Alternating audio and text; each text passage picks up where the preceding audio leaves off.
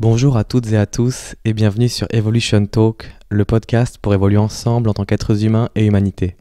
Je suis Benjamin Lautin et j'ai la grande joie d'être aujourd'hui en la compagnie d'Armel Dupas, pianiste et compositeur. Bonjour Armel. Bonjour Benjamin. Merci d'avoir accepté mon invitation. Je t'en prie. Merci à toi d'être venu jusqu'à moi. Euh, je suis un de tes plus fidèles auditeurs, donc je suis maintenant ravi d'être de l'autre côté du micro. Ouais, ça me touche beaucoup en tout cas que, que tu euh, sois à l'écoute des podcasts. Et puis là, on se trouve euh, donc chez toi, près de ton piano, à Mhm. quelques centimètres. Mhm. de- Bah ouais, il fait partie de, de- du décor, euh, qu'il soit en tant que meuble ou en tant que décor acoustique, lorsque on, on l'anime.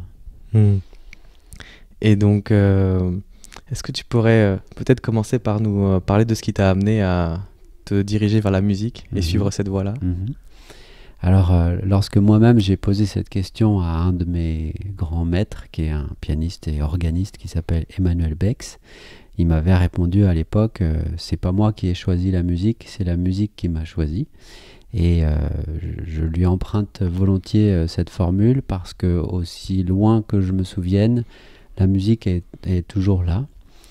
Euh, les raisons euh, premières euh, sont que je suis né dans une famille de musiciens où la musique est, omniprésente, surtout sous la forme de jazz. Et puis finalement, ce qui est très drôle, c'est que récemment, j'ai consulté un médium pour la première fois. Il se trouve que ma maman avait été le, voir, ne sachant pas vraiment qu'il avait aussi cette particularité-là. Elle y allait plus pour des soins euh, bioénergétiques et finalement il lui a confié des choses. Bref, elle m'a dit tu devrais aller le voir parce que c'est vraiment intéressant. J'ai attendu assez longtemps et je suis allé le voir et euh, je lui ai posé une question en rapport avec les vies passées euh, et, sa réponse fut très claire. Il m'a dit mais tu étais déjà musicien euh, dans ta vie d'avant. Voilà, donc en fait, euh, ça, ça ne date pas d'hier. Hmm. Mais ça, c'est pas la vie d'Armel Dupas, c'est la vie de quelqu'un d'autre. Euh, en tout cas, voilà, moi, je, je suis né en 1984, euh, donc voilà, entouré de musique. et en fait, j'ai j'ai toujours eu un piano chez mes parents, donc j'ai toujours joué, j'ai toujours eu la sensation d'avoir euh, mis mes petits doigts euh, sur des notes euh, blanches et noires. Et puis, quand j'ai eu euh, 8 ans, il y a eu un événement assez marquant dans ma vie de, jeune enfant, qui est le, départ de ma sœur aînée, qui avait une leucémie. Et, et je pense que je n'étais évidemment pas armé pour affronter euh, un épisode comme celui-là. Euh, et je pense que le piano a été une valeur refuge, piano ou la musique, a été une valeur refuge pour vivre euh, cet épisode. Et donc je pense que jusqu'à très récemment, j'ignorais en fait à quel point ça avait été important en tant que valeur refuge, ce qui a du coup beaucoup conditionné mon rapport à la musique, et notamment dans le fait d'être un musicien plutôt nostalgique et plutôt avec des vibrations euh, douces, plutôt qu'un truc euh, très cheer up et euh, californien quoi. Euh, donc voilà, et en fait, très récemment, j'ai, je me suis dit, bon, bah, cette énergie-là, je l'ai, ça y est, elle est, je, l'ai comprise, je l'ai traversée, et donc maintenant, je suis mûr pour partir ailleurs. Euh, voilà, donc euh, c'est tout ce que je peux te dire, enfin, en tout cas, en résumant euh, énormément euh, euh, 20, euh, 28 années de vie. Parce en ces 28 années, tu as beaucoup voyagé avec la musique, par la musique? Oui, euh, j'ai voyagé euh, déjà de Nantes, ma ville natale, à Paris, où je suis allé euh, quand j'avais 21 ans, puisque je suis rentré dans la classe de jazz et musique improvisée du Conservatoire de Paris. Euh, et pour moi, c'était déjà euh, un peu comme partir en Erasmus, tu vois, c'était vraiment euh, aller à la grande ville, c'était... bah ouais, c'était se réaliser. Et puis, effectivement, grâce à la musique, j'ai eu la chance de voyager dans pas mal de pays du monde, que ce soit évidemment les États-Unis, le Canada, mais aussi euh, Taïwan, je suis allé même à New Delhi, les pays de scandinaves, le Maghreb. je suis même allé en Haïti jouer. Enfin voilà, j'ai fait pas mal de kilomètres malheureusement euh, en avion. Euh, voilà, entre, entre 2009, ma, ma sortie du conservatoire, jusqu'à 2019-2020, puisque voilà, je pense que c'était euh, une dizaine d'années où le, voyage un peu tous azimuts semblait ne pas poser plus de problèmes que ça. Je pense que l'économie de la musique faisait que ça, semblait très juste que les musiciens se déplacent euh, à, la, rencontre des publics. Mais personnellement, j'ai commencé à interroger ce système euh, il y a quelques deux ans. Euh, et aujourd'hui, où tout est arrêté, nous sommes aujourd'hui début janvier 2021, eh bien, je ne souffre pas du tout de cet arrêt. du voyage et, je dirais que j'arrive à continuer de voyager cette fois-ci plus intérieurement. Et en ce qui concerne les rencontres et partages musicaux, bah, j'utilise les moyens euh, contemporains, euh, dont euh, YouTube, que je trouve être une plateforme très, qui peut être très intelligente et nous permettre de trouver notre chemin.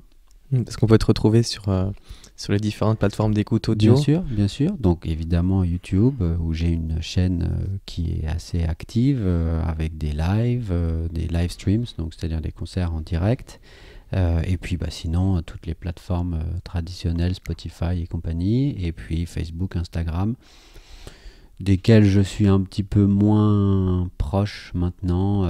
je, je, suis moins en phase avec le côté extrêmement éphémère de, des stories euh, et tout ça, ou du, fait de scroll sur son écran mm. à la recherche de tout, toujours quelque chose de, de, plus frais, de plus frais. Alors que finalement sur YouTube, euh, moi, je, en tant qu'utilisateur, je découvre des contenus qui ont, qui ont 4, 5 ans, 10 ans, mais qui au moment où je les découvre sont tout aussi pertinents euh, pour moi. Mm. Donc voilà. Et donc, euh, vous pourrez trouver euh, les liens en description de toutes euh, voilà, de tes différents réseaux sociaux et de tes chaînes mhm. pour, pour t'écouter. Mhm.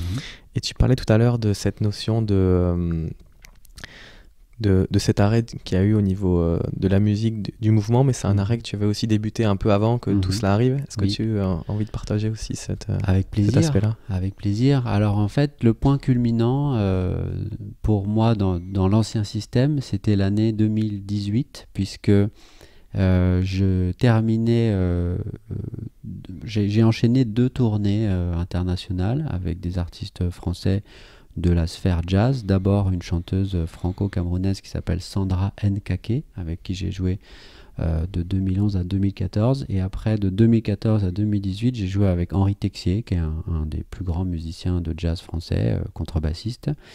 Euh, et, et, parallèlement à ça, moi j'avais mes propres aventures en trio au sein d'un programme qui s'appelle Jazz Migration. Et donc, voilà, vers vers mai, juin 2018, euh, il y a une fois où ce qui a fait tilt pour moi, c'est quand euh, on est allé jouer euh, avec mon trio en Norvège.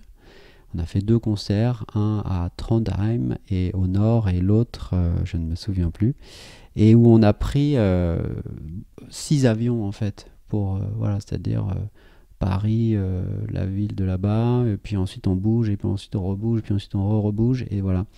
Euh, et, en fait, comme on est un, enfin, je, suis ce qu'on appelle dans le milieu un artiste émergent, on y allait pour jouer devant une petite centaine de personnes à chaque fois. Alors c'était très bien, c'est 100 personnes qui étaient ravies d'être là et nous, euh, donc euh, mon copain bassiste et batteur Kenny et Mathieu, on était hyper contents, d'autant que dans l'interstice entre les deux dates, j'avais loué un petit chalet au bord d'un lac en Norvège où c'était super. Mais je me suis dit c'est quand même c'est quand même un peu bizarre euh, d'avoir à prendre six avions pour jouer euh, devant 200 personnes, quoi. Et euh, à partir de ce moment-là, je, me suis dit, bon, je, suis un peu là de, ce système. la répétition fait que, en fait, la vie de tournée de musicien qu'on fantasme souvent quand on n'est soi-même pas encore à ce stade-là dans son développement musical ou professionnel, ou même quand on y est extérieur, on fantasme beaucoup cette vie. Mais finalement, comme tout autre métier, elle présente un caractère de routine qui fait qu'au bout d'un moment, euh, on ne sait plus trop où on est. Euh, est-ce qu'on est, euh, à Boulogne-sur-Mer Est-ce qu'on est dans le sud Est-ce que, enfin voilà, toutes les salles et les publics finalement finissent un peu par se ressembler. Et donc, je me suis dit bon, moi, je voilà, c'est bon. Merci, j'ai eu ma dose, mais pas au sens j'en ai marre, mais j'ai eu mon j'ai eu mon content, comme on dit en français. Mmh. J'ai eu mon ma, ma, part du gâteau. Donc maintenant, bah je suis mûr pour autre chose. Et donc le premier truc euh, que j'ai fait pour euh, opérer ce changement, c'est d'aller vers les concerts chez l'habitant, voilà, que j'avais découvert lors d'un autre voyage, celui-là plus, euh, comment dire, sans, sans but professionnel, mais finalement, en faisant un petit tour dans, en Amérique du Nord, je suis allé rendre visite à un copain qui s'appelle Olivier, qui habite euh, dans le Yukon. Donc le Yukon, c'est le nord-ouest euh, canadien, près de l'Alaska, dans une ville super qui s'appelle White Horse, le cheval blanc. Et, euh, en fait, profitant de ma venue, puisque Olivier est aussi saxophoniste, eh bien, il m'a dit tiens, on va faire des concerts dans la communauté, parce qu'en fait, dans, la culture nord-américaine, il y a vraiment ce truc de communauté qu'il n'y a pas vraiment chez nous, c'est-à-dire on se reçoit, les uns les autres. Et donc, profitant de la venue euh, du pianiste français, eh bien voilà, il y a eu quelques concerts chez les uns, chez les autres, et c'était vraiment très sympa. Euh, ça faisait comme les vrais concerts, au sens que les gens écoutaient vraiment. C'était pas, on, ils jouent euh, deux morceaux et puis on, mange des petits fours. ils nous ont payé puisque voilà, ils avaient prévu un petit budget pour ça. Et je me suis dit, hmm, ça, c'est ça c'est bien. Euh, il faut euh, essayer de développer ça ici. Donc, euh, j'ai réfléchi pendant tout l'été 2018 et en septembre, j'ai commencé à, à, mettre sur pied un projet qui s'appelle Home Piano Live. Donc Home, le foyer, piano, piano, et live, bah, en direct, quoi, en concert. Et donc, bah, ça a super bien marché. C'est-à-dire que entre septembre 18, euh, ensuite il y a eu le, micmac des, des, gilets jaunes avec euh, beaucoup de difficultés pour se rendre dans différents endroits. Moi déjà je suis passé un peu entre les gouttes parce que j'étais euh, bah, c'était dans la sphère privée, non subventionnée, non étatique, etc. Donc euh, super. Ça m'a même permis d'aller, de continuer à aller jouer un petit peu à l'étranger, mais en restant plus longtemps. Par exemple, je suis allé à Marrakech, mais en, étant hébergé chez des gens. Euh, je suis allé en Russie aussi, euh, voilà, où en fait, j'y allais pas pour un aller-retour express. j'y allais pour une semaine, pour rencontrer vraiment les gens. Et puis, et puis bah voilà, en, un peu plus d'une année, j'en ai fait plus de 60. Euh, beaucoup en France, beaucoup dans la région nantaise, puisque quand j'étais en France, euh, c'était dans ce coin-là que j'étais. Et là, bah, j'avais la sensation d'être à ma place. C'est-à-dire que il n'y avait pas de loge, pas de distance entre les gens qui font la démarche de venir écouter et celui qui a fait la démarche de venir jouer. Euh, c'est sans filtre, c'est euh, à la fois des gens qui me connaissaient d'avant et qui étaient super étonnés que le pianiste euh, machin joue comme ça dans le salon chez, les, chez les Martins. et puis il y a ceux qui me connaissaient pas, et ils étaient assez nombreux, et c'est bien, qui des fois avaient des petites des petites phrases marrantes genre ah bah c'est vous le pianiste. Ah bah bah moi j'ai fait du piano hein, quand j'étais jeune et puis ma fille etc et du coup il y a plus du coup le, côté un peu chichi du, du milieu où, euh, où, en fait voilà quand on a fait le CNSM de Paris quand on est tout auréolé de, sa gloire on n'imagine pas que voilà qu'on va pouvoir avoir euh, Jean-Michel qui dit moi aussi j'ai fréquenté des caves de Saint-Germain quand j'étais jeune. Et en fait ça a un côté hyper sympa. Et là ça n'était plus du tout routinier. Les publics n'étaient plus les mêmes, les endroits, je m'en souvenais très bien, euh, puisque bah, c'est les, chez les gens. Donc euh, voilà, donc ça c'était mon, mon premier pas euh, et mon, ma première prise de conscience pour s'écarter de ce qu'on pourrait appeler le système. Parce qu'en fait, tu as fait, tu as passé pendant plusieurs années par, par toutes, toutes sortes d'expériences où tu étais, comme tu le disais, peut-être moins proche de, des gens quand tu jouais, et c'est ça que tu as retrouvé. Absolument. Bah, en fait, euh, la, la, journée, euh, bah, il y, a plusieurs, euh, y a plusieurs contextes. Il y a le contexte, par exemple, de club euh, à Paris, tu vois, un club de jazz. Il y a, par exemple, il y en a un que j'aime bien qui s'appelle le Sunset Sunside, où là, malgré tout, il n'y a pas vraiment de chichi, c'est-à-dire que c'est un café, il y a une scène, il y a un piano, il y a tout l'attirail, et puis, euh, et puis finalement, une fois qu'on descend de scène, on peut aller parler au bar avec les gens. Et ça, ça c'est très chouette, tant pour les musiciens que pour euh, le public qui peut du coup aller parler à un pianiste qu'il aime bien. Mais euh, dans l'autre contexte, qui est le, le, contexte plus subventionné, les, les, les, salles de province, tu vois, style scène nationale, etc., ce qui était plus le le, lot de, à la fois de Sandra Nkake et de Henri Texier euh, quand je jouais avec eux.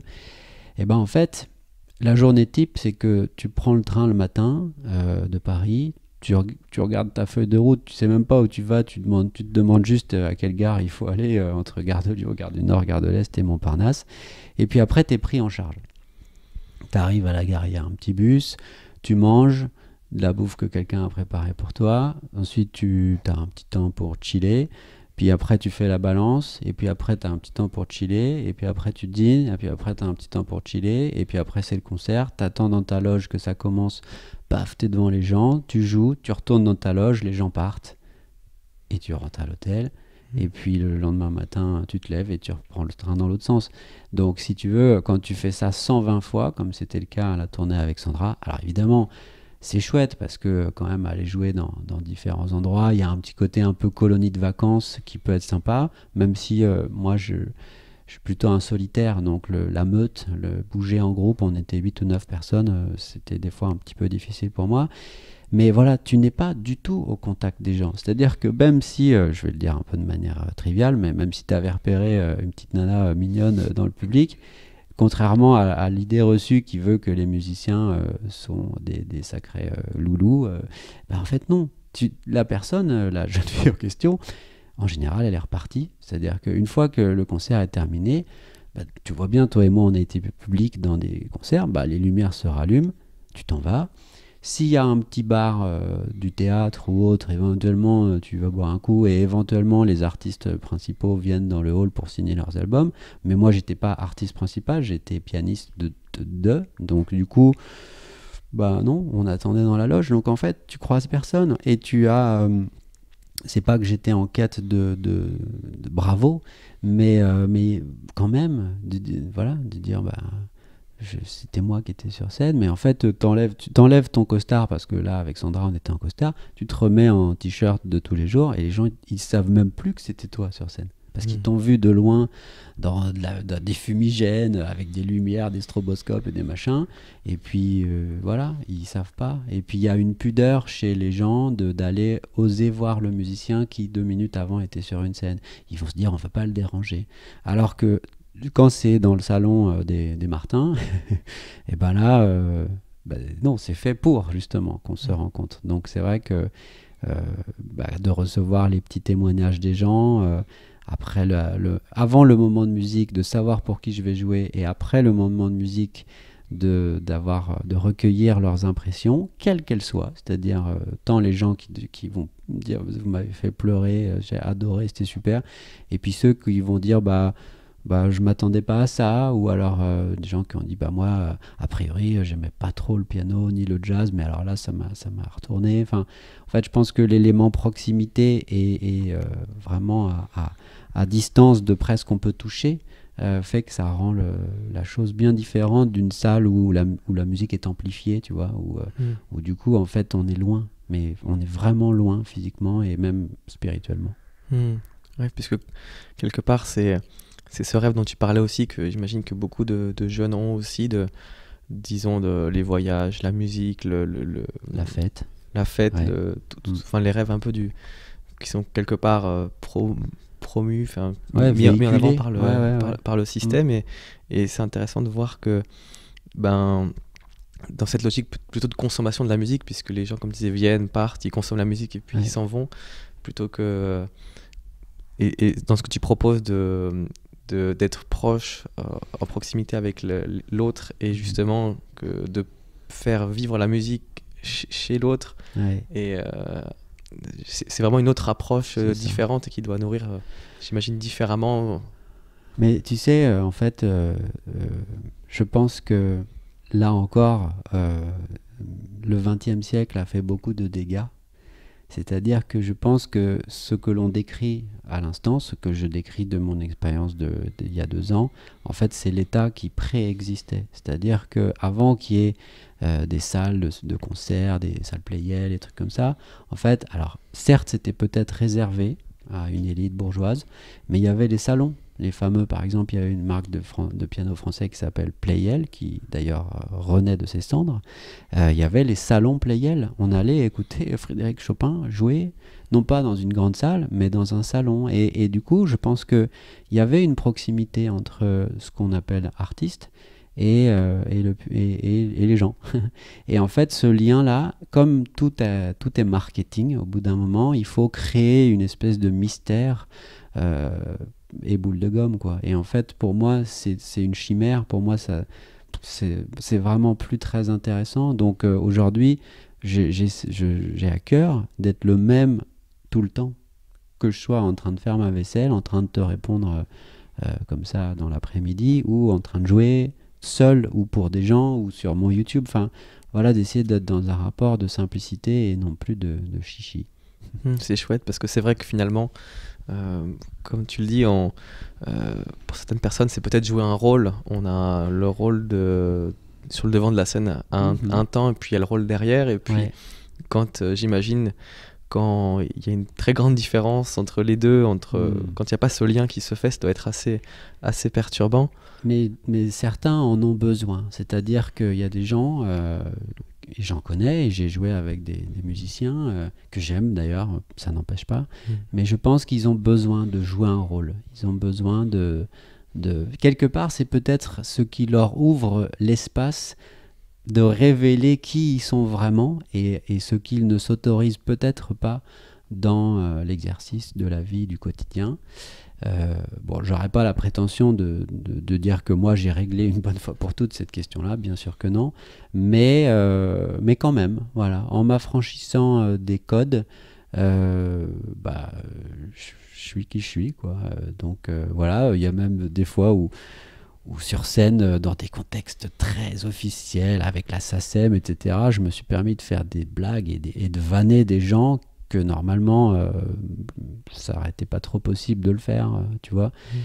Mais parce qu'en fait, quand tu es un peu le trublion, et euh, entendons-nous, je suis, je, suis, je suis pas très extrême comme trublion, hein, mais mais bah, quand t'es le trublion, t'as le droit en fait. Et puis surtout, si derrière ce que t'envoies au piano, c'est pas trop de la merde, ben en fait ça passe. Sans, jouer les divas, sans jouer. Il y a un, pianiste très célèbre qui a, qui a, été très connu pour ses caprices, c'est Keith Jarrett, un pianiste américain. Moi, je voilà, je, demande pas à voyager en, Mercedes classe S et, d'avoir euh, mon Paris-Brest toujours le même à 19h. Euh, voilà, je suis très flex sur les conditions parce qu'en fait, euh, bah, euh, ce qui compte, c'est de s'adapter et d'accueillir euh, ce qui est, pas d'imposer son, truc. Et j'ai même joué dans des contextes plutôt assez officiels ou cool, sur des pianos pas terribles, alors que à l'inverse, aller chez une petite, grand-mère qui a un vieux Playel 1875 monstrueux, voilà, et, en fait ces gens-là, tu leur fais un bien tellement fou que de faire revivre leur instrument. Et ça, ça m'a beaucoup plu aussi dans l'expérience euh, chez l'habitant. Euh, au bout d'un moment, j'ai fait construire un petit piano à roulette par un copain. Euh, donc je pouvais transporter mon piano. Et d'ailleurs, c'est dans ce contexte-là qu'on s'est rencontré chez Frédéric. mais des fois, j'allais jouer chez les gens sur leur piano. Et des pianos, par exemple, il y a, tu sais, beaucoup de gens qui ont hérité du piano de mamie, quoi. Mais sauf que euh, il y a la Fifi euh, Cassandre qu'on a joué pendant ces cinq années d'adolescence, de, puis qui a, laissé tomber. Et puis du coup, le piano, il prend la poussière. Et du coup, là, bah, c'est l'occasion de le faire réaccorder, par exemple. Donc, de lui redonner un peu euh, sa place dans la maison. Et, ça émeut beaucoup les gens. Et moi, je me, je me sens très euh, à la fois légitime de faire ça et puis ça me procure du bien-être. De... Et des fois c'est dur parce qu'un vieux piano 1875 ça se joue pas comme celui que j'ai moi, mais du coup ça m'oblige à m'adapter. Et puis il y a une dimension aussi de l'instrument qui est quelque part vivant. Parce que c'est vrai que pour quelqu'un qui, qui n'est pas initié, peut-être comme moi, euh, je me dis un piano, bah, c'est un instrument et puis c'est juste un objet. Mais j'apprécie beaucoup ta, ta, vision justement de, de voir tout ce qu'il y a derrière en fait l'instrument et d'en avoir pleinement conscience lorsqu'on est mm. à, à, à, côté. Ouais, bah en fait c'est c'est chargé d'énergie. C'est-à-dire que, alors évidemment, un piano, c'est un arbre mort, puisqu'on s'en est servi pour, euh, pour euh, de l'arbre, pour transformer le bois en, piano. Mais je pense qu'il continue à se charger euh, d'énergie. Et euh, moi, euh, j'ai eu à cœur, c'est drôle qu'on en vienne à parler de ça, mais quand j'étais euh, quand, petit, chez mes parents, il y avait ce, piano-là, l'Egnitza, un piano polonais. Et finalement, après, bah, je suis parti à Paris, mais le piano m'a suivi. Et puis j'ai déménagé dans un premier endroit, dans un deuxième endroit. Et finalement, c'est sur ce piano que j'ai enregistré mes premiers disques. Parce qu'en fait, c'était moi, c'était mon son. Et puis, au bout d'un moment, je me suis dit, bon, bah voilà, il est dans un studio à Paris chez mon copain Pierre-Marie, et, c'est bien qu'il y reste maintenant là-bas. Et, euh, donc, euh, voilà, et, le piano que j'ai acheté là ces, derniers mois, euh, bah, je suis en train de le charger de mon énergie. Et d'ailleurs, hier, j'ai eu un petit cas de conscience parce que j'ai un, super ami ici qui s'appelle Pierre, avec qui Pierre est plus ingé son et moi plus pianiste. Et on se dit bon bah on va, faire des trucs ensemble. Et Pierre il compose aussi. Donc il va dire ouais je vais venir enregistrer sur ton piano. Et en fait le soir je lui ai envoyé un mail pour dire écoute je suis, vraiment désolé mais, mais en fait non. Je peux, je peux plus le partager euh, parce que ça y est je suis en train de me l'approprier. Donc, euh, donc je le charge de mon énergie. Donc c'est comme si tu allais euh, enregistrer ou parler avec ma voix. Ça, ça ferait bizarre quoi. Donc effectivement, euh, ça a beau être euh, un objet, déjà c'est un objet très très très, comment on pourrait dire ça? Ça n'a pas l'air parce que on, pense bon bah oui c'est un piano, on en voit, t'en vois la télé, t'en vois partout, mais en fait c'est un alliage extrêmement complexe de, de, métal, de bois, de force contraire. Enfin, c'est une pièce d'orfèvrerie en fait. Et les gens qui sont les techniciens, ils s'appellent eux-mêmes techniciens du piano. Euh, finalement, ils, sont tout aussi importants que le compositeur ou que le pianiste, mais sauf qu'ils ne sont pas sous les feux de la rampe, donc euh, on s'en fout un peu. Et moi, j'ai à cœur de... Je suis très heureux d'en parler là, par exemple, tu vois, à, Paris, j'ai un, accordeur euh, chéri qui s'appelle Bastien Herbin, et, ici, bah, il y a Florence Almond donc, qui avait créé ce piano à roulette. Et puis maintenant, je travaille avec Franck Dornier, à qui j'ai acheté ce, piano, euh, qui habite à côté de Rennes, et Charles Gruson, qui vient l'accorder. Voilà. Et je suis content de dire leur nom, parce qu'en fait, voilà, personne dans, le, public n'entend parler de ces gens-là. Des fois, tu, lis euh, sur euh, les, pochettes d'albums, enfin quand il y en avait encore, piano préparé par un tel, mais c'est un truc d'initié, alors que finalement, c'est bah, vraiment des, des, mecs super fin parce qu'en fait, il cherche l'accord, il cherche l'harmonie. Euh, et pour que toi, après, tu puisses euh, jouer dessus et, te laisser aller et ne plus avoir euh, un quelconque empêchement dans la vibration. Donc, c'est vraiment, on est très interdépendants. Et voilà, je suis, je suis heureux d'en parler. Mais c'est chouette justement de pouvoir amener un regard différent sur euh, peut-être ce qui nous entoure et qui est à côté de nous et qu'on n'a jamais regardé de cette manière. C'est peut-être parfois comme la nature, de, se rendre mm. compte qu'on peut voir le sacré partout, y compris dans la nature, et de voir bah, que les, euh, les instruments aussi, euh, bah, qui sont issus de la nature et transformés ensuite par l'homme, mais pour aussi voilà, remettre des dimensions, voir différemment ce qui nous entoure. c'est tout à fait vrai. Ça a une dimension sacrée, c'est c'est la, symbiose entre euh, la matière et l'humain et ce qu'il en fait. Hmm. C'est pourquoi je suis tellement attaché à ce qu'on appelle l'acoustique, c'est-à-dire l'instrument acoustique et non pas euh, le synthé qui, fait des super sons, euh, bien sûr, hein, mais mais maintenant, euh, je reviens à, cette notion d'acoustique, un peu comme on dirait euh, euh, bio ou naturel, ou tu vois, le vin naturel, enfin, des procédés qu'en fait on, connaît depuis toujours, mais qu'on avait un petit peu mis de côté pour des raisons voilà, qui nous échappent. Justement, je suis curieux d'avoir ton, ton ressenti par rapport à peut-être cette, justement, cette, le fait que la musique se soit éloigné de l'acoustique peut-être dans son mhm. ensemble. Mhm. Et euh, quel est ton regard là-dessus? Eh ben, écoute, euh, j'y pense beaucoup en ce moment à ça, donc je suis, je suis content que tu me branches là-dessus. Euh, je pense que c'est un mirage, en fait. Je pense que c'est le mirage de la fée électricité. Je pense que ça a commencé dans l'après-guerre, où, et d'ailleurs, mon papa, Dominique, est un formidable guitariste. euh, euh, voilà, et, dans, dans les tout débuts des années 60, euh, tu sais, c'est comme dans la chanson Rock Collection euh, de, de Laurent Voulzy, où il disait les, guitares tiraient sur les violons.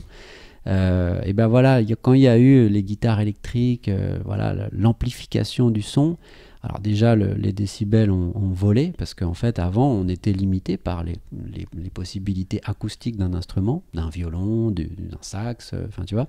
Et quand le quand l'amplification est apparue, l'électricité, et ben là ça a pris une ampleur monstrueuse qui du coup a propulsé au niveau international des groupes comme les Beatles.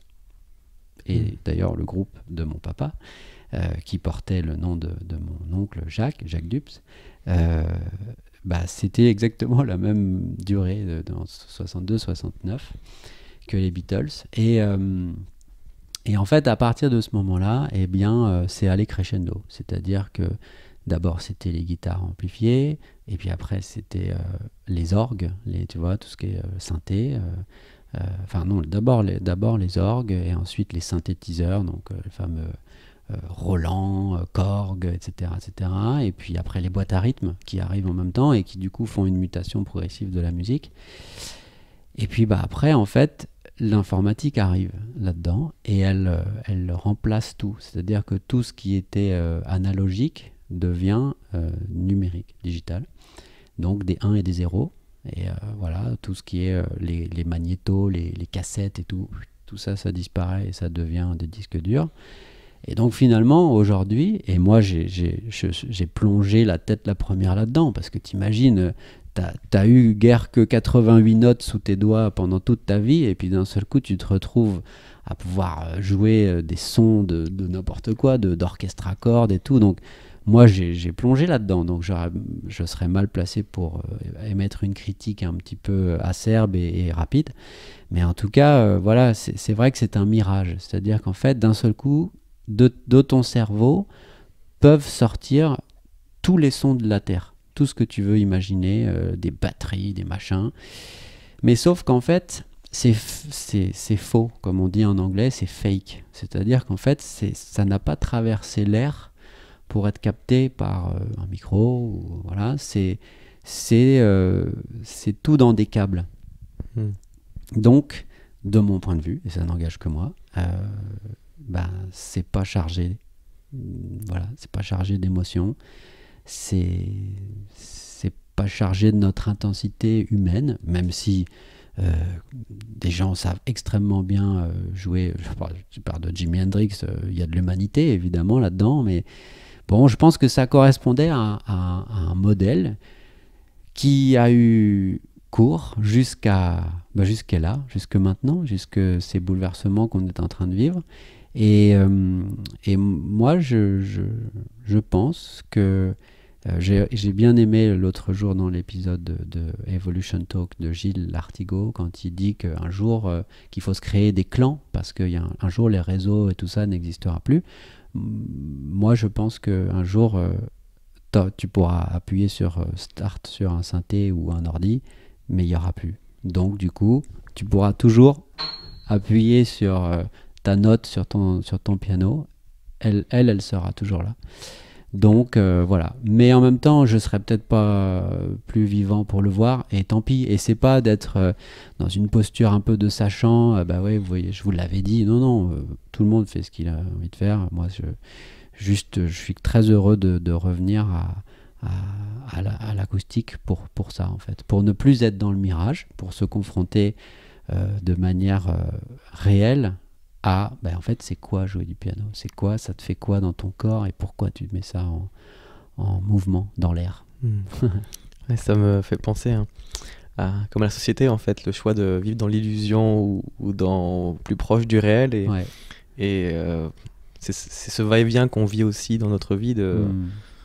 ch- chacun peut-être moi dans, dans mes rêves d'enfant c'était des rêves un rêve de la société, c'était le football par exemple. Puis après, pour revenir à quelque chose qui me correspondait plus, moi, et, et, et, qui, disons, qui n'était pas un rêve préfabriqué, mais qui était un rêve, enfin les rêves que je suis aujourd'hui, qui, qui changent d'ailleurs et qui évoluent en, en permanence, eh bien c'est c'est un goût différent et d'avoir expérimenté le, quelque chose de, disons, de préfabriqué, de, de, pas authentique pour moi, mhm. et pour d'autres, ça l'est. Mhm. Et ben, c'est intéressant, c'est ce va-et-vient, et, peut-être que pour la musique aussi, peut-être que cette, euh, entre, entre, guillemets, cette illusion, ces masques, ces, euh, voilà, ces, euh, ces choses qu'on met entre le son et nous, peut-être que c'est temporaire pour revenir à, comme tu le fais, à l'essence même du, du son et de la musique. Mais c'est vrai que c'est c'est euh, ouais, c'est quelque chose de vraiment vraiment fascinant.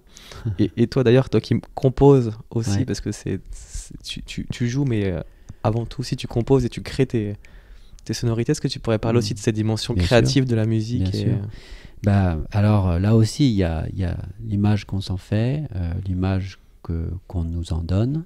Euh, qui, peut avoir l'air quelque chose de très abstrait, c'est-à-dire mais comment il fait?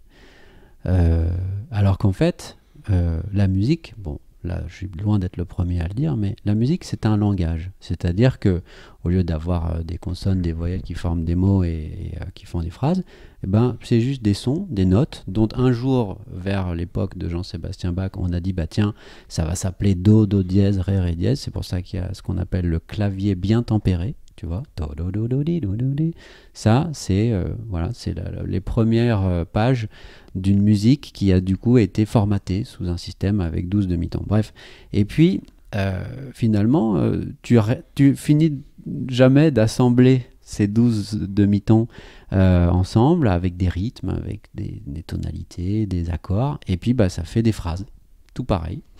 Euh, et, là, moi, j'avais conscience de ça, juste de la partie un peu technique.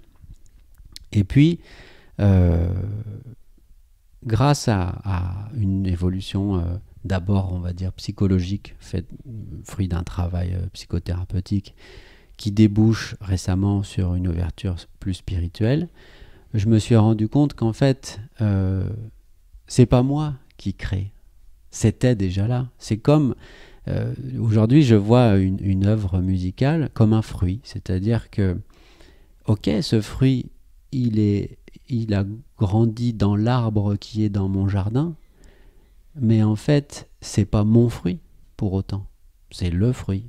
Et après, bah, je le donne à manger ou je le mange moi-même. Bah, pour moi, une, compo, quoi, on va appeler ça une compo, un titre, une œuvre, euh, bah, c'est la même chose. À mon avis, elle était là déjà. Et c'est juste moi, mon cerveau de Harmel, avec les capacités de, capter des sons et de les assembler ensemble, euh, qui euh, l'a reçu.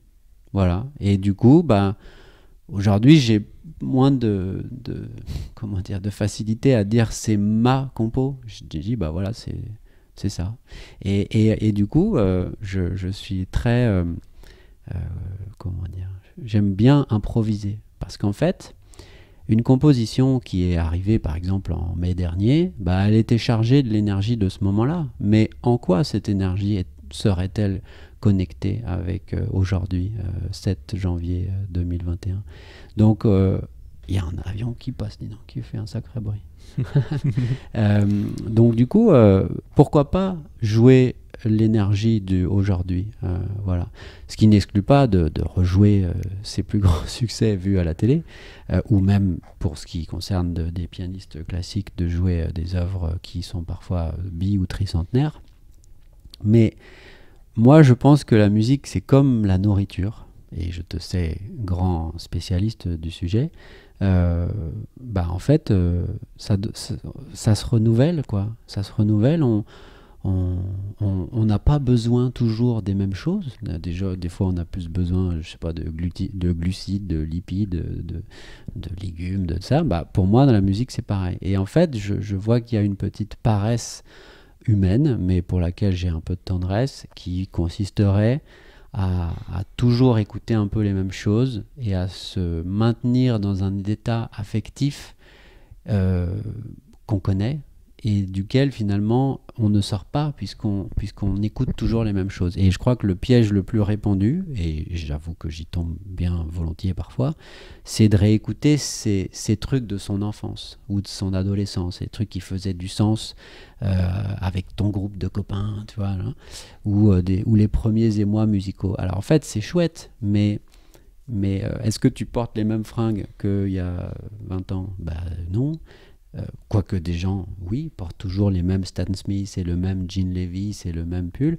Bon, bah voilà, moi j'ai mes périodes. Il y a des moments où j'ai plus envie de mettre un petit chino et d'autres fois d'être en, en, jogging. Quoi. Bon, bah pour moi, la musique, elle, elle, elle, c'est pareil. Donc c'est pour ça que j'aime bien l'improvisation. Euh, parce que du coup, bah, c'est comme là, on, est en train d'improviser, on ne sait pas euh, hmm. ce qu'on est en train, de, enfin, on sait ce qu'on est en train de se dire, mais, mais même aller 15-20 secondes avant de dire ce mot-là, je ne savais pas que j'allais le dire. Et bah, pour moi, l'impro, c'est la même chose. C'est laisser euh, la place à la magie de l'instant finalement, et de, hmm. j'aime bien cette image de, de voir non plus euh, moi la personne qui crée la musique, mais euh, la vie à travers moi qui joue et qu'on enregistre et qu'on partage et qu'on diffuse et c'est c'est si proche et si éloigné en même temps. C'est ça. Mais oui, mais parce que euh, à un moment tout est voilà tout est marketing, tout est produit en fait. Donc du coup. ce sont deux systèmes de pensée qui s'opposent. Tout à l'heure, lorsque tu parlais d'une opposition entre deux systèmes, ça m'a fait penser à une, une guérisseuse que j'aime beaucoup suivre en ce moment sur YouTube qui s'appelle Sandrine Muller-Bohar, qui a une chaîne YouTube super, elle fait beaucoup de vidéos. Et là, récemment, elle, euh, parlait de ce qu'elle appelle le passage à la 5D. Euh, donc, euh, où finalement, il y, a, comme deux grandes, comment on pourrait dire ça, familles d'humanité. Il y a l'humanité qui s'accroche euh, et aujourd'hui, c'est cette humanité qui dit bah, quand est-ce que ça va revenir, le monde d'avant, le, Covid. Et puis, il y a, euh, donc celle-là, elle serait plus 3D, voilà, en tridimension. Alors, je ne sais pas pourquoi ça, passe de 3 à 5, mais bon. Et il y a l'énergie, euh, l'humanité 5D, donc celle qui, qui, se, voilà, qui va plus s'intéresser à, au sens des choses, au format plus spirituel, énergétique. donc voilà, je pense que moi, je suis en trajet, en fait, de l'un à l'autre, et je pense que toi aussi, vu qu'on est en train de se parler. Et, effectivement, on ne peut pas, euh, euh, de, manière euh, ferme et définitive, et, décider une bonne fois pour toutes que on en a fini avec l'ancien monde. Non, on va, on va faire des, des, passerelles tout le temps. On va même aller rechercher des choses qui, qui appartiennent au monde d'avant, qui vont nous servir. moi, j'aime bien, en ce qui concerne la musique, aller réutiliser des trucs de, je sais pas, de, de Nirvana, tu vois, précisément la musique était euh, le, highlight de mon enfance, mais, euh, mais c'est pas pour faire la même chose, c'est juste pour aller en, extraire un tout petit euh, ingrédient que presque seul moi saura qu'il est dedans, mais qui constituera soit la musique composée ou improvisée. Hmm. Je trouve ça super intéressant cette, cette vision qu'on peut avoir en tout cas de l'époque euh, moi, j'aime bien voir en fait que euh, de voir qu'en fait finalement dans tout ce qui se passe aujourd'hui, euh, ben, il y a comme un ancien monde qui s'effondre. Mhm. Et il s'effondre de lui-même, il n'y a, a, même pas accéléré son effondrement, il, il va s'effondrer de lui-même. Et puis il y a plein de belles choses à créer qui sont là en attente, en émergence et qui avancent. Et puis on ne sait pas trop, mais voilà, c'est un processus qui est en mouvement et qui c'est la forêt qui pousse en silence sans faire de bruit, pendant que le grand arbre de la, le, très vieux arbre mort depuis longtemps est en train de tomber et va faire est en train de faire un bruit énorme. Et pendant que la forêt pousse autour euh, sans qu'on le voit. Et euh, sans qu'on la voit. Et, euh, et c'est vrai que c'est quelque part un choix qu'on peut avoir de de soit se mettre en opposition avec euh, mm. sous l'arbre qui tombe pour dire non je veux pas qu'il tombe et puis il va nous tomber dessus mm. ou on peut être euh, derrière en train de dire ah, je le pousse un peu l'arbre qui tombe ou en fait on peut juste être là et créer d'autres choses à côté qui ont du sens et observer en étant conscient de tout ce qui se passe euh, enfin mm. du plus qu'on puisse l'être en tout cas hein. et, et, d'observer ce changement et, et, comme tu disais j'aime bien voir cette vision là de mouvement en fait c'est c'est c'est un perpétuel mouvement, c'est-à-dire c'est comme la méditation, c'est suivre le mouvement de sa pensée. C'est on mmh. est conscient, on, perd, euh, on, part dans une pensée, on se perd et Mm. on revient. Et c'est ce mouvement-là, c'est suivre le mouvement de sa pensée. C'est pas j'y suis, j'y suis plus. C'est ce mouvement perpétuel et comme la musique hein, qui Ouais. est bah, les fréquences. et- Henri Dutilleux, grand compositeur du XXe, avait euh, euh, créé un- un- un- une musique qui s'appelle Mouvement perpétuel. Voilà. Alors c'était peut-être plus euh, cerveau gauche, mais voilà. Oui, comme quoi ces notions-là, elles ont toujours existé et elles existeront toujours. Le, le mouvement euh, est perpétuel. Il, voilà, il nous, il nous prend. Ah, C'est c'est magnifique. Et, et, euh, et j'en viens justement à tes créations, Mhm. Enfin, ce que tu crées, ce Ouais. que la vie crée à travers toi, Ouais. pour employer les mots différemment. C'est aussi un. Parce que. Est-ce qu'il y a eu un moment de, de shift C'est-à-dire de. Tu parlais de ton, du changement par rapport au, au- au voyage que tu as pu faire et puis la conscience que tu as mis dans, dans, dans ta pratique. Mhm. Mais est-ce qu'au niveau de la création, il y a aussi eu un déclic de se dire euh, un moment. euh, Oui. Bah oui, mais hum, quelque part, euh, je- si, sinon nous ne serions même pas là pour en parler. C'est-à-dire qu'en fait, je pense que ça part de soi, de, d'une ignorance de ce, qu'on, ce que je vivais euh, en termes d'émotion et de, la grille de lecture. Donc en fait, au début sortent des petites pierres un, un peu, comment dire, qui manquent un peu de, polish, quoi, de vernis. Elles sont un peu brutes de décoffrage, mais je pense qu'elles touchent par leur côté, côté euh, éminemment euh, authentique et tu vois comme une, comme un- une esquisse euh, un peu, un peu brute, quoi. Voilà. Euh, et puis au bout d'un moment, euh, je pense que j'ai sorti un peu la tête de mon nombril euh, au fur et à mesure des rencontres, euh, de la vie qui court. Et donc euh, j'ai- pu euh, composer sur euh, d'autres sujets que euh, mes peines de cœur. Parce que en fait, euh, en bon euh, euh, homme occidental, euh, un peu délicat, euh, voilà, c'est ça qui, qui crée les petites fêlures, qui fait que hop, une énergie sort et, fait une, compo. Et le premier changement, euh, la vraie première œuvre qui, qui n'est pas du tout en lien avec euh, ma vie sentimentale et même euh, euh, intellectuelle, c'est euh, ce sont les attentats de Paris euh, 2015 là. Euh, J'habitais encore à Paris à cette époque-là et euh, donc Charlie d'abord et puis euh, le Bataclan ensuite où en fait je me suis dit waouh il y a vraiment une énergie très bizarre très très particulière je ne sais pas la décrire avec les mots et donc paf c'est une musique qui sort et cette musique elle, porte le nom de la réponse puisqu'en fait j'avais envie d'adresser une réponse pas du tout moralisatrice mais juste de dire bah non vous voulez vous qui perpétrez ces choses là euh, même si j'ai encore une fois, euh, comment dire, appris avec euh, Gilles dans ton, un des précédents épisodes, que peut-être tout ça est bien plus fomenté, bien plus, comment dire, dirigé qu'on ne le sait. Mais en tout cas, euh, voilà, moi je m'arrêtais au premier euh, niveau de lecture qui est euh, des, foufous qui, qui, tuent des gens. et je disais, bah non, vous vous aurez pas ça. Nous, on va vous opposer de la beauté ou, ou du l'énergie quoi. Donc voilà, ça s'appelait la réponse.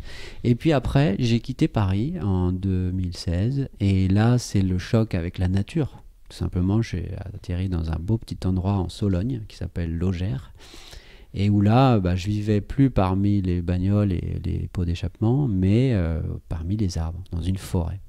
Et donc euh, le, changement, euh, ça a été un, morceau que j'ai donc reçu et, et- et retranscrit, qui s'appelle Logère Song, tout simplement, qui voilà, qui est tout, qui est très doux et qui va chercher dans, la sérénité, sans être mélancolique ou nostalgique.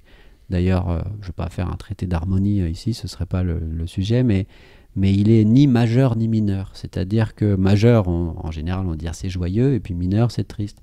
Bah là, c'est ni l'un ni l'autre, c'est sus. Donc sus en, accord, ça veut dire suspendu. Et donc, euh, voilà, c'est un morceau suspendu, un peu comme si on se baladait entre les branches des arbres. Et voilà, et ça, donc, à partir de ce moment-là, je me suis mis dans une posture plus de d'ode à la nature.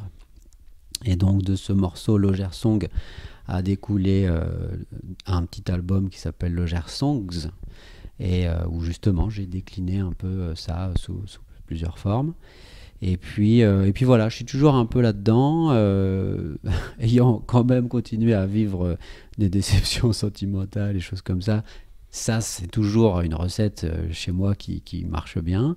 Euh, mais, mais je ne cherche pas à aller contre. Je, l'accompagne, je l'accueille, je lui donne sa place et je vois qu'elle continue à me faire sortir des choses euh, toujours un petit peu plus fines et précises au, fur et à mesure de mon ouverture. voilà, j'ai pas encore reçu ou composé au sujet de spiritualité ou de crise de Covid.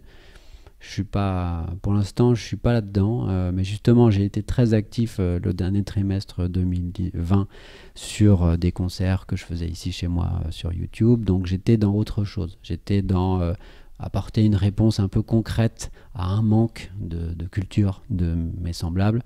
Donc voilà, mais là, je fais une petite pause et j'entends bien être dans un cycle plus de réception et moins d'émissions. Donc tu vois, d'ailleurs, hier soir, en pendant plusieurs heures, j'ai repris un petit peu le fil de toutes mes œuvres composées et je les ai toutes rejouées pour voir, ok, c'est quoi, les, quoi les tendances? Tiens, qu'est-ce qui, qu'est-ce qui me fait encore quelque chose? Qu'est-ce qui appartient définitivement à une énergie que j'ai plus envie de jouer? Il y en a même que je n'ai pas rejoué parce que je me suis dit non, c'est bon, pas, pas besoin, pas envie. Hmm. voilà, c'était ça le shift, c'était la nature et l'ouverture le, et à, à, autre chose que soi. C'est super intéressant de, de voir qu'en fait, euh, ben, il y a ce qu'on crée, et puis euh, c'était à l'image de, peut-être qui on était, de ce qu'on pouvait transmettre, de ce qui était juste de transmettre à cet instant-là, et ce qui peut-être était aussi juste d'écouter à ce moment-là pour d'autres personnes, et puis de voir aussi cette notion de, quelque part, c'est pas le bon terme, mais presque de responsabilité de qu'est-ce qu'on donne à travers nous par la musique. C'est le bon terme, Benjamin. C'est une responsabilité, et je suis même très heureux que ce soit pas moi qui l'ai dit, mais toi. C'est vrai que c'est. Bah, en fait, dans, l'éventail musical qui existe aujourd'hui, qui est mmh. immense, mmh. quelque part, on peut. C'est peut-être quelque chose dans, lequel on n'est pas conscient. Et moi, c'est quelque chose qui m'intéresse beaucoup. Mmh. C'est de voir à quel point la musique nous influence. Euh, c'est une phrase de Platon, je crois, que c'était si vous voulez contrôler un peuple, euh, commencez par contrôler sa musique. Et, euh, et, en fait, quelque part, la musique, euh, si on part dans l'idée que tout est vibration, tout est fréquence, et eh bien, ça, c'est une certaine fréquence qui nous euh, maintient vers euh, celle celle-ci. Mhm. Et, quelque part, si on parle de fréquence basse ou fréquence élevée, mhm. eh ben, on peut être maintenu dans des fréquences basses ou on peut s'élever vers d'autres fréquences. Et et, et, enfin, moi, pour avoir écouté des. Aujourd'hui, ma playlist musicale, et, je veux dire, si quelqu'un la, la, regardait, on pourrait même pas y comprendre, mais c'est plutôt l'énergie qui est derrière la musique. Hmm. C'est-à-dire, qu'est-ce que je ressens par la musique? Qu'est-ce que ça nourrit en moi? Est-ce que ça hmm. nourrit en moi quelque chose de positif Ou est-ce que ça vient. Euh, comment dire Alimenter et réalimenter des blessures qui sont hmm. peut-être terminées, mais qui. Euh, qu'est-ce que ça vient nourrir en moi? C'est vrai que c'est des questions qu'on se pose peut-être pas nécessairement quand, quand on écoute et peut-être même pas quand on joue d'ailleurs. Oui, bah alors oui, le drame c'est qu'on se les pose pas quand on joue, mais, mais tout le monde est passé par là. C'est-à-dire qu'on peut pas. Euh, c'était déjà de devenir euh, de jouer de quelque chose, c'est déjà tellement complexe que si en plus tu te poses la question de pourquoi, là c'est chaud. Je pense que ça vient en, deux, temps. Et par exemple, aujourd'hui, je reçois euh, des jeunes musiciens autour de la vingtaine euh, et, là où ils viennent me questionner sur comment, moi, je, commence par poser la question du pourquoi. Pourquoi tu fais ça? Qu'est-ce que tu mets en mouvement, etc. Et c'est vachement intéressant de voir les réponses. Euh, en fait, on, ne se pose le comment dire l'humanité se pose aussi peu la question de ce qu'elle écoute que de ce qu'elle mange. Donc mmh. c'est pour ça que je suis euh, à la fois très heureux d'échanger avec toi et que j'ai été très heureux de découvrir des notions euh, que, auxquelles je n'avais pas accès avant. Par exemple, le, un, des premiers euh, épisodes de, ton podcast où j'ai pris conscience de la notion de divertissement alimentaire et non pas de, quelque chose qui nous nourrit, bah, je peux tout à fait l'appliquer à la musique. C'est-à-dire qu'il y a du divertissement auditif qui, qui, ne nous nourrit pas. Et c'est pas une question de contenu ou de niveau, c'est juste je pense, là, est-ce que c'est fait avec le cœur ou pas? Euh, Tu vois, je suis même ému quand je te dis ça. C'est qu'en Mhm. fait, euh, je pense que quand c'est fait avec le cœur, ça peut être euh, deux accords ou trois accords et une mélodie la plus banale qui soit. Je pense que Mozart, par exemple, euh, c'était avec le cœur. Mhm. Euh, je je je veux pas donner de, de contre-exemple parce que ce serait un peu du jugement, mais je pense que tout ce, tout ce que des, des stations de radio commerciales euh, nous vomit à longueur de temps dans les oreilles euh, et nous vomissent, pardon, parce que c'est des stations. Euh, tout ce que les playlists Spotify et autres euh, nous proposent avec des, avec des images euh, iconiques de trucs qui, qui un peu vont, sont presque de la pornographie, tu vois, musicale. Bah ça, c'est pas fait avec le cœur. Ça, c'est fait pour remplir les caisses de machinerie commerciale. Donc le problème, c'est que on est à un, cycle de, de la production musicale qui, à mon avis, est, un peu au niveau de McDonald's. C'est-à-dire qu'en fait, pour l'instant, c'est ça qu'a le devant de scène. Le pignon sur rue, c'est ça. Euh, je suis euh, client à la fois de Apple Music, Spotify, et Deezer et YouTube parce que comme je produis, je veux, je veux voir ce qu'ils qu'ils mettent en avant. Euh, et, en fait, c'est navrant. C'est-à-dire que très vite, les algorithmes, quand bien même tu es parti d'une écoute d'un truc super indé que personne connaît, très vite, l'algorithme te remet les, les, les grosses bouses quoi, de maintenant. Parce qu'en fait, c'est une, euh, c'est une vaste entreprise commerciale. Donc, c'est pour ça que c'est très difficile pour euh, le producteur euh, de musique bio, puisque c'est comme ça que je me réclame. Et d'ailleurs, euh, j'ai beaucoup aimé encore une fois Gilles Lartigol, Go. Go, Go, pardon, qui, euh, qui parlait d'artisan, d'artisanat. En fait, euh, voilà, moi, je, je me remets à faire des CD euh, à la main. Ah, donc, je, la galette, elle est, déjà faite, mais je veux dire, je les grave avec mes petits ordis, je fais les pochettes, euh, j'écris à la main dessus.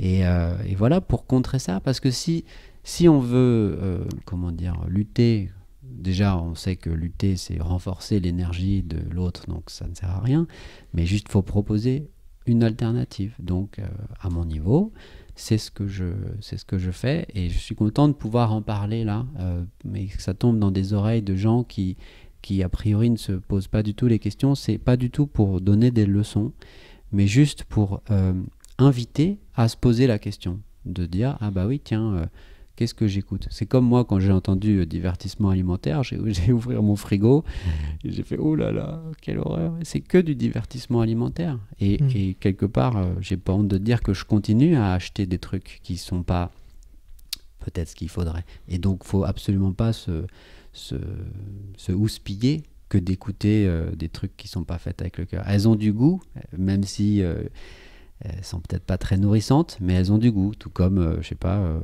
Qu'est-ce que j'ai- j'aime bien les petits raviolis euh, épinards euh, ricotta. Bon, euh, je suis pas sûr que ce soit méga euh, top en termes de ce, ce ratio-là, mais bon, bah, une fois de temps en temps, pour des besoins d'aller rapidement, et ben je continue à en acheter. Et puis c'est vrai que quand je peux cuisiner quelques poireaux, euh, carottes et pommes de terre en ce moment, bah, bah c'est cool.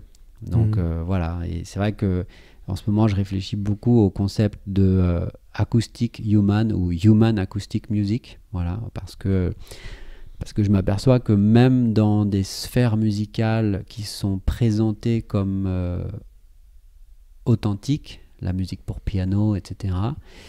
Et ben il y a beaucoup de gens et je leur en veux pas du tout et c'est plutôt une invitation à ce qu'ils évoluent, mais euh, qui, nous qui nous servent des trucs qui sont pondus par ordinateur et qui donc euh, en ont presque la couleur et le goût, mais n'en ont pas euh, le. C'est pas passé par euh, un doigt humain qui a appuyé sur une touche.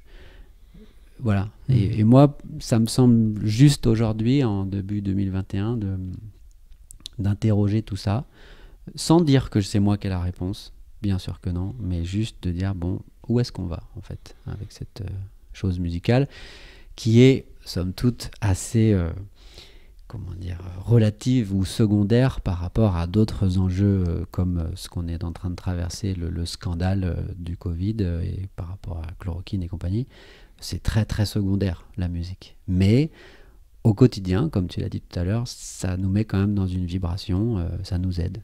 Voilà. Mm. C'est super intéressant de ça laisse de quoi de quoi méditer Mm.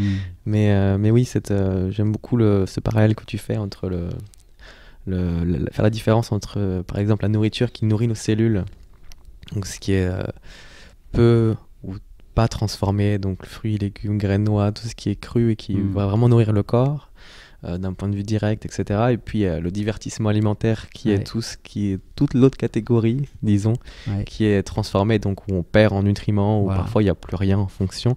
Et, et, et, et en fait, c'est chouette que tu, par- que tu euh, fasses le parallèle parce que le, le divertissement, enfin, dans, ça, pour ceux qui veulent écouter, ça fait lien avec le podcast avec euh, Loïc Guiffan Mhm.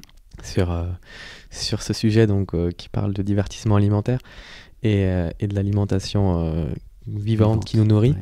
Et, euh, et en fait, pour rappeler un petit peu, c'est que ben, l'idée c'est de commencer d'abord par ce qui nous nourrit, et puis après, en conscience, le divertissement alimentaire, c'est ok. Ouais. C'est pas un jugement d'être parfait ou pas d'être imparfait, mais c'est ce choix de la conscience de Mhm. ok, bah, je suis maître de tous les éléments qui sont là, Mm. et je choisis en conscience de faire ça. Ouais. Bien ou pas bien, qu'importe, mais. Et, et- et ce choix de la musique aussi, c'est intéressant de bah, peut-être se poser la question, euh, de se poser, prendre un petit temps. Parce que c'est vrai que la musique, on peut être. Moi, le premier, hein, j'aime bien écouter les musiques, que, que le- les morceaux s'enchaînent, et, Ouais. et des fois c'est juste. Et il y a des fois où j'ai envie d'écouter un morceau, de me poser un peu avant, Ouais. l'écouter, me poser un peu après, et qu'est-ce que je sens à l'intérieur de moi, qu'est-ce qui se passe, et c'est peut-être ça qui est le plus important. Et, et pour certaines personnes, on va peut-être écouter le même morceau, peut-être que ce morceau-là, chez moi, va, va m'élever, me sentir, m'aider à me sentir euh, mieux et m'élever dans, dans, Ouais. dans, qui, dans qui je suis, dans comment je me sens. Mm. Et peut-être que pour quelqu'un d'autre, pour, euh, par nos différents filtres, euh, etc., peut-être que pour cette personne, elle va se sentir moins bien après cette musique et Ouais. ce sera parce que c'était voilà, parce que c'était juste pour moi à cet instant-là. Absolument. Alors après, il y a une chose qui rassemble, c'est euh, le direct, c'est-à-dire être assis à, à un mètre du piano et d'avoir les vibrations de l'instrument. Parce que écouter euh, dans son casque euh, en marchant, euh, moi j'adore évidemment, mais je pense que c'est là où le drame de ce qu'on est en train de vivre en ce moment, où toutes les salles et tout sont fermées, euh, c'est que bah, du coup on peut plus synchroniser nos, vibrations dans un concert ou un truc. Et j'ai euh, vibré fort euh, au message de encore une fois de Gilles Lartigot décidément qui disait faisons des choses clandestines. Et en fait moi je pense que dans mon petit chalet à Safré au nord de Nantes je vais commencer à faire des concerts pour du coup euh, 3, 2, 3, 4, 5 personnes. Tu vois la pièce n'est pas grande du tout, mais elle peut contenir euh, ça, 3-4 personnes, restant dans la légalité de, de 6, puisque c'est ce qui est, je crois, soit légal, soit recommandé. Enfin bref, puis de toute façon, on ne pourrait pas être 20 ici. Mais euh, pour, pour euh, dans un temps un peu de disette, de vibratoire, euh, redonner aux gens euh, cette, cette possibilité-là, c'est-à-dire de- de- d'entendre un instrument acoustique vibrer et d'être tout près. Voilà. Parce qu'en fait, c'est sinon on, peut dire euh, bah oui, posez-vous la question. Alors autant dire euh, bah oui, euh, bien sûr, des, oranges, des, noix, des, fruits secs. c'est bah oui, c'est ok, je comprends. Bah du coup, je vais à la biocop et je fais je fais tomber tu vois des noix et puis c'est cool. Mais parce qu'elles sont là, elles sont visibles. Mais quand tu ouvres, encore une fois, c'est pas pour dober dessus, hein, mais quand, quand tu ouvres Apple Music ou YouTube, il n'y a pas les noix. On ne les voit pas. Alors que pourtant, il y a des tas de gens qui tous les jours mettent en ligne des trucs super euh, faits avec le cœur, sans aucun artifice, etc. Mais c'est pas qu'ils sont pas en devant de scène ou de, de- de gondole, comme pour reprendre l'analogie d'un d'un supermarché. Mais ils n'y sont. Ils sont pas visibles du tout. Et donc, c'est. Il y a des gens qui ont tenté de, faire d'autres euh, sites. Tu vois, par exemple, il y avait Cobuzz, un truc français. euh, voilà, bon. Moi, j'ai été client de la première heure parce qu'en plus, il y avait une offre euh, haute définition en termes de son. Bon, puis finalement, je crois que tout simplement, euh, comment dire, de manière business, c'est très compliqué à faire vivre. Donc au bout d'un moment, ils doivent être rachetés par une grosse boîte et hop, on revoit Rihanna apparaître dans le devant de scène. Donc c'est difficile. Il y a, à vrai dire, c'est extrêmement complexe, mais je pense que, et j'invite vraiment nos auditeurs à, entrer en contact avec les artistes autour d'eux, à, dire, mais dis donc ah mais mais je peux je peux t'écouter là je peux écouter ce que tu fais euh, c'est, quoi et est-ce que je peux bah, je peux t'acheter un truc euh, parce que en fait tout autour de nous on a plus ou moins euh, quelqu'un qui fait de la musique qui essaye d'en vivre ou qui, qui, va faire je sais pas des contes pour enfants enfin des trucs mais mais on se sent pas on se sent pas invité à faire marcher ce petit entrepreneuriat local. C'est comme si ah bah non c'est bon eux ils ont les salles ils ont l'intermittence du spectacle donc c'est bon, on n'a pas besoin. Euh, bah non, en fait, c'est pas du tout ça. Euh, un, guitariste, un jeune qui débute, dire Mais attends, vas-y, euh, joue-moi un truc là.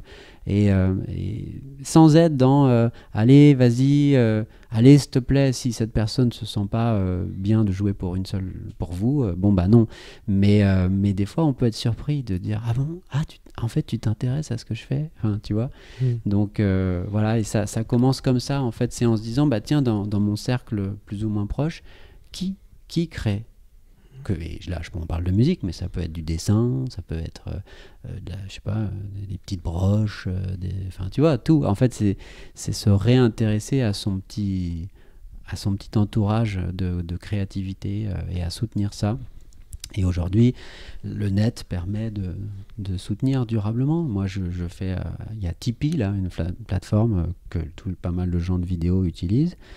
Il y a Patreon, voilà, Patreon en anglais. Euh, bref, voilà, les moyens ne manquent pas de soutenir de manière régulière. Et c'est pas 250 euros par mois, ça peut être 5 euros par mois, les, les petits, les petits créateurs. Et moi, pour faire un tout petit crochet euh, plus hum, politique, euh, j'ai choisi euh, en mars dernier, donc sans savoir ce qui m'attendait en termes de Covid, mais de ne plus être intermittent du spectacle. Voilà. Donc maintenant, je, je suis auto-entrepreneur. Alors il se trouve que j'ai eu un peu de... Comment dire Les choses se font bizarrement puisque au moment où j'ai décidé de faire mon dernier tour de piste, donc en gros l'intermittence, si tu ne travailles plus, ça dure 10 euh, mois et demi, donc euh, voilà, quelques moins d'un an. Et finalement il y a le Covid, donc le truc est prolongé d'autant, donc finalement je bénéficie plus longtemps des indemnités que si ça devait dû s'arrêter en, temps normal. Mais euh, voilà, je suis auto-entrepreneur et je veux facturer comme n'importe qui d'autre fournit une prestation. Et parce qu'en fait, sinon, on est dans une forme d'assistanat à la française, euh, qui est une exception culturelle, qui peut avoir son, sa légitimité dans certains contextes, mais dans le mien, je pense que c'est bon. Là aussi, j'ai eu ma part du gâteau. Merci. Maintenant, je, je me débrouille. C'est euh, un super parallèle, comme tu dis, de choisir qu'est-ce qu'on va, qu'est-ce qu'on veut alimenter dans le, dans le, monde de demain, parce que ce qu'on va voir émerger, ce qui est fait avec le cœur, ce qui est beau, ce qui nous nourrit, ce qui nous plaît, hmm. ben si on quelque part, si on fait pas des gestes et des actions pour que ça puisse durer, ben on peut s'en prendre qu'à nous-mêmes et, et, en même temps cette, euh, cette idée, comme tu euh, le partageais également, de de, de, de, ce constat de, de voir qu'en fait on a rendu euh, ce qui était, disons, difficile, euh, très transformé, plein de choses qui sont pas terribles pour nous, on les a rendues faciles d'accès. Absolument. Bah, c'est comme la pub, c'est toujours pour euh, vendre des saloperies.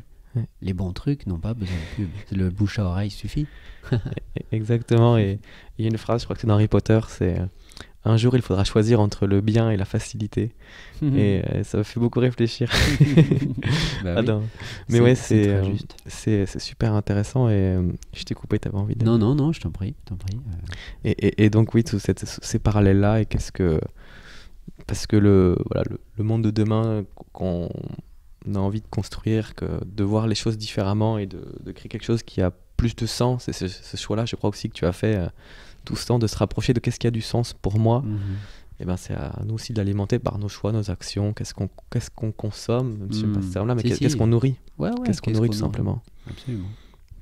Donc, euh, donc voilà, et, Et euh, bah, on va arriver à la fin de ce podcast. On, a, on a beaucoup, beaucoup discuté. C'était vraiment génial. Et je te mhm. remercie d'ailleurs parce que tu parlais aussi tout à l'heure de euh, du, euh, le fait de vivre, d'être en présence d'un piano. Moi, j'ai eu la chance, il y a quelques mois, de vivre ça, de ta musique et d'être collé et ah collé au piano. Et c'est une expérience assez magique et, et, à vivre dans sa vie pour ceux qui, qui, le peuvent et qui ont cette chance-là. Mais voilà, vivre la musique non plus que par les oreilles, mais par tout le, corps, par le cœur, partout en même temps, par les vibrations tout simplement, et c'est vraiment génial. Et, voilà, donc ta musique aussi m'accompagne, euh, mhm. le CD que tu m'as offert euh, mhm. de ton dernier album. Euh, en édition limitée d'ailleurs, merci beaucoup parce qu'il il me suit et il m'accompagne aussi sur ce chemin. Donc un grand merci. Et puis j'en arrive à la question rituelle du podcast. Ah oui. si tu avais un dernier message à transmettre à l'humanité, comme une bouteille à la mer, quel serait ce message? Euh, Écoutez votre petite voix. Euh, voilà, écoutez votre voix intérieure, votre euh, intuition. C'est un peu. Voilà, je pense que c'est ce qu'on peut faire de mieux, en fait. S'écouter. c'est tout. Hmm. Merci beaucoup. Mhm. Alors donc, je joue un petit morceau, c'est ça? Bah alors voilà, pour ceux qui le souhaitent, vous allez pouvoir écouter juste après euh, la fin de cet enregistrement un, un, une improvisation. Du coup, puisqu'on en a parlé, euh, donnons à entendre. Pour vivre pleinement, euh, faire l'expérience de, de, ta musique. Donc merci beaucoup. Vous pourrez trouver les liens en description de, des différentes chaînes pour, pour suivre Armel. Et vous pouvez également trouver en lien dans la, dans la description le lien de tu es sur Tipeee, tu m'as dit Oui, bah, Tipeee. le lien de ton Tipeee. tout simplement. Voilà, le lien de mon Tipeee aussi pour ceux qui veulent soutenir le podcast et euh, participer aux plantations de, hmm. à mon projet de plantation de forêt fruitière. Voilà, pour ceux qui veulent soutenir euh, des choses différentes. Entrez en contact avec nous. Écrivez-nous, euh, mettez des commentaires. C'est pas que pour les algorithmes, c'est pour créer des liens entre nous. se reconnaître, comme dit Sandrine Muller-Board, la famille de cœur. C'est magnifique. Eh bien, eh bien, on vous laisse à cette écoute-là. Et merci beaucoup, Armel. Avec plaisir, Benjamin.